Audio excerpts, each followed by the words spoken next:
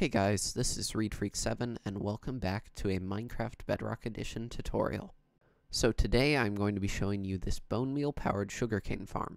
It produces double the amount of sugarcane as you put in bone meal, uh, or very close to it at least. Very occasionally a piece of sugarcane will shoot out the side or whatever, and I've done what I can to prevent it with these blocks out front, but I can't prevent everything apparently.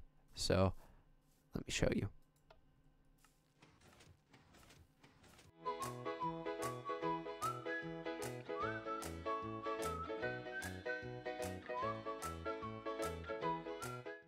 As you saw, this farm isn't 100% efficient, but it is fairly close.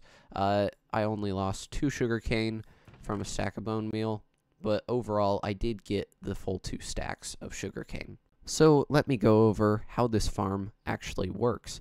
Out here, I have the lever running into a redstone line, which turns the clock on and off. The clock is 7 ticks, and every 7 ticks it will send a pulse through this observer. This observer powers a redstone line, which powers the dispenser, which bone meals the sugarcane, and then three ticks later, the piston on top is fired, which harvests the sugarcane. Then down here, we have a hopper minecart inside of the sand block, which is picking up all of the drops as they fall, and then it is splitting those drops between the two hoppers here, and putting them into the chest. The reason I have it split over two hoppers is because one hopper just wasn't fast enough, and after running the farm for a while, you would start to get a backlog uh, building up on top if you were using a lot of sugarcane. Then out the back here, this part is optional. I have a hopper and a chest going into the dispenser just for extra bone meal storage if you want to run the farm for a longer period of time. So let's get into the tutorial. For this farm, you'll need these resources on top. You'll obviously need bone meal to run the farm, and then these are optional. If you want to add the extra bone meal storage out the back, then you can get that stuff. Then also, you'll probably want some temporary blocks for building. So, to build this farm, you're going to start out by placing a double chest, and then placing two hoppers going out the back of that. Then place a chest on top of the left hopper, and then you're going to place a rail on the right hopper. Now, out the back of this, you're going to place a temporary block with a stair on top, and then you can get rid of that temporary block, and then place a block off to either side of that stair, because that is eventually going to have water in it, and you just don't want it spilling out the sides. Then, on top of the chest, we're going to place a temporary block, and we are going to place a sand block there and place a minecart with hopper on the rail. Then you're going to break the rail and as you can see the sand falls onto the minecart hopper and that is how we get that inside of the sand block. Then you're going to nudge the minecart hopper and that's very important as that puts it over both hoppers rather than just the one under it. Now you can put the water in your stair block and then get out your dispenser and piston and place them like so.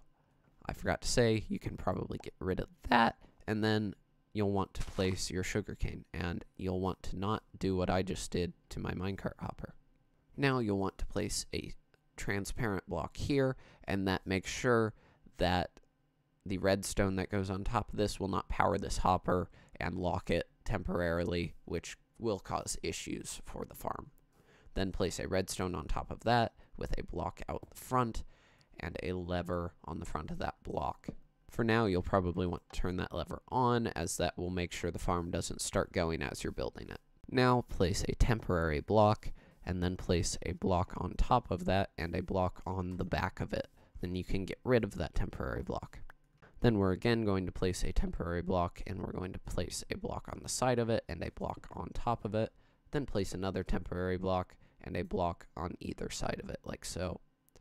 Then you can get rid of your temporary blocks and start placing in some redstone. So you're going to put a redstone dust on top of that and that, and then you are going to take your repeaters and you're going to place one on four ticks on this lower block and one on two ticks facing the opposite direction on this top block.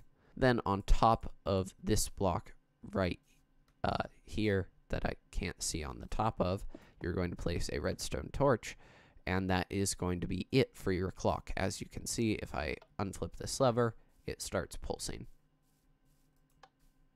Then you're going to place an observer out of this repeater, and you're going to place two blocks out like that, and redstone dust on top of both of those.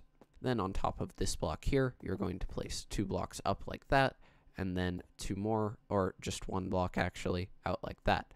Then place an observer facing out of that with a block on top, a repeater on two ticks coming out of this block, and then a redstone dust. That is it for the redstone, but now we're just going to build a cage up around this sugarcane to make sure that it will not go absolutely everywhere when the farm is running. So just build up four glass blocks on each side like that, and then place a glass block on top to seal it off. These don't all actually have to be glass blocks, but I'm using that because it looks nicer so you can actually see the farm. Uh, these all could be solid blocks as long as it doesn't interfere with any of the redstone. Like here, this has to be a transparent block or this redstone line won't work. Then your last step is placing in your eight concrete that are left over like that, and that's just going to help contain the sugarcane so it doesn't shoot out randomly. Then, if you wish the extra storage, you're just going to place a hopper coming out of that, and then place a chest on top of that hopper, and you can just put your bone meal in here. Then, you should be able to just flip this lever, and the farm will start going. So, as you can see, much the same situation as before, only one shut out this time, but you will have slight losses. Well, that's the end of this video, so I hope you all have enjoyed. If you did, please leave a like and consider subscribing, and I'll see you all next time.